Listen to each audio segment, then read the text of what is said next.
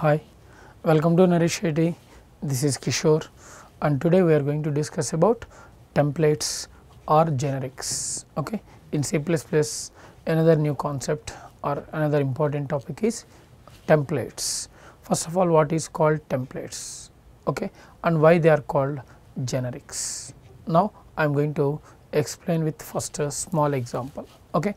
First of all why we need the templates in our programming. Actually in C++ we are having a function overloading concept. In function overloading concept what we are doing? We are defining several functions, we are defining several functions with the same name by changing number of arguments, data types and order of the variables means arguments. But here the problem is we have to define several functions for different tasks, but the only one thing is the function names are identical. Okay. For example, I want to find out the integer sum, then generally we have to write a integer function like this. Okay. For example, common header file hash include iostream.h next uh, hash include conio.h. Later I am going to write a function like this int what I want to find out sum of two members intx inty. Now these are the arguments or parameters. Now return x plus y. Okay, fine. Now this function is going to find out what integer sum. Later I want to find out the float sum. Then what I have to do? Float sum of float x comma float y. Now return x plus y. Now function closed. Here watch it. This function is going to perform integer sum, this function is going to perform floating sum. But the thing is here the only one common thing is function name is identical. Here also sum is there. Here also sum is there. That means we are creating several functions with the same name by changing the arguments. Okay? Now it is called what? Function overloading. But here the point is suppose i have entered sum 1 sum 2 now, I am going to enter different names. Now, the program is same. Now, it is also performing integer sum, float sum. That means, with the function overloading only we are extending the functionality of functions. Moreover, nothing is there. That means what? In function overloading, we are using the same function for different purposes. Okay.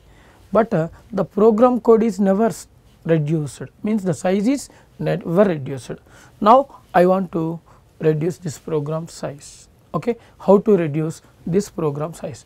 I want to declare only one function, but which can perform all the operations. Okay. Now, I want to perform I want to declare only one function, but which can perform all the operations. Then how to perform this? And now the only one solution is templates. Okay. Now, the only one solution is templates which are also called generics. Now, template. It allows to design. It allows to design okay one function for several family of functions. Means uh, it allows to j one function for several function declarations okay. That is why it is easier to create okay design or create one function for family of functions. And how this one is working. And here one more important thing is what? Here we can declare the functions by using templates as well as classes also by using the templates. That is why the templates are divided into two types. One is what function template, second one is the class template okay, which is also called generic functions, generic classes. Now, why they are called generic classes? Because of in a general store also we are having different types of items means one shop for different uh, products, one shop for different products. Like this one function for different tasks. Means it works on integer float everything. That is why how to create this generic function. That is why it is called generic function. Now, I am going to explain first generic function or function template and how to design the function template and what is the syntax of function template. With this advantage is what? Our program size is reduced, our program size is reduced. Okay. Now, I am going to give how to create a function template in function template the first part is what syntax we have to know the syntax. Now, it is the function template syntax. First of all we have to start a template keyword. Now, every template should be start with template keyword. Next one in angular brackets class keyword should be provided and next here some name okay. Now p it is called placeholder. It is called the placeholder. Now this t type is depended on user sending arguments. Suppose user is sending integer data then this argument converted into integer. Floats are sending. Now floats like this. Suppose you are having two types of data integer float like this. Then you can declare like this also. T1 comma class t2 now it is also possible. Now what happens? Suppose user is sending integer and float.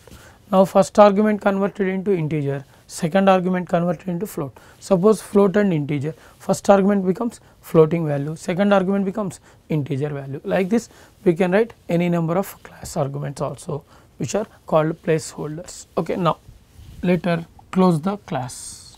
Now, here return type function return type. That is why first of all return type means return data type. Later function name. Here as usual arguments are parameters. Okay? And now we are going to create the functions with the parameters. That is why they are called uh, parameterized types also. Okay? Here templates are also called parameterized types because of uh, every template is having a parameter. Okay? That is why they are also called parameterized types. And now here we have to send the parameters. Next one function body return value common thing. Okay it is called function body. Now see this without this what it is? It is nothing but a function.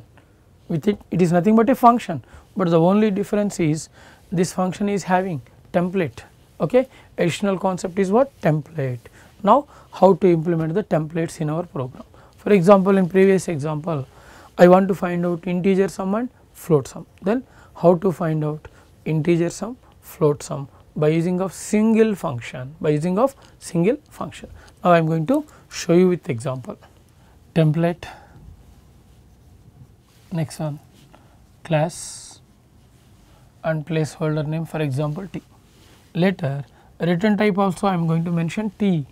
Means uh, suppose you are sending integer t becomes integer and return value also integer.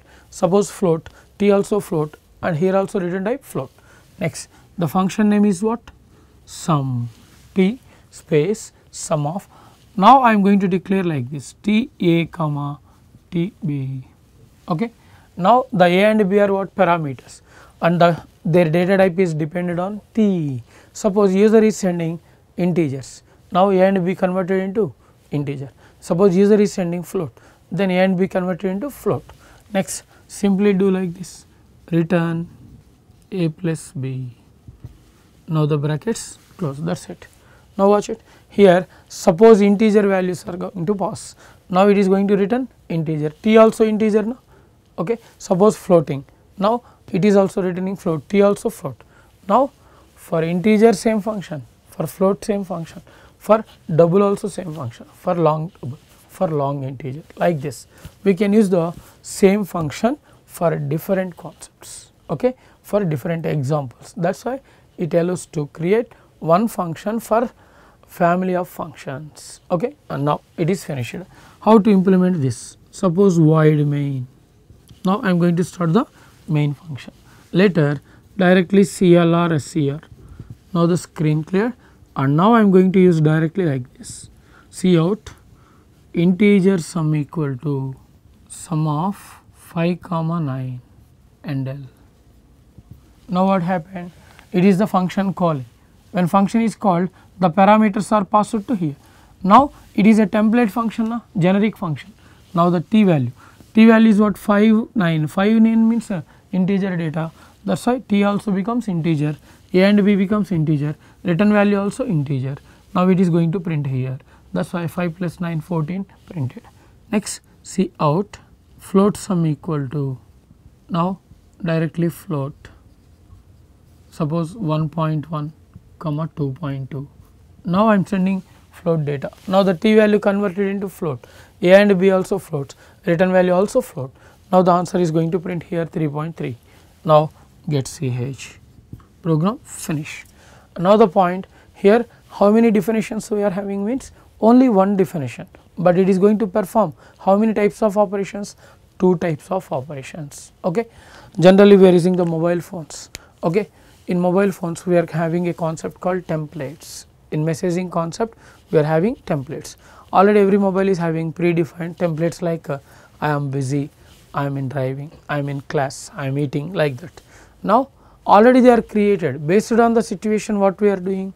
Okay. Suppose I am in class, now somebody is going to call. Now immediately I am going to use the I am in class message. Suppose I am in driving, somebody called. Now I am going to press the I am in driving.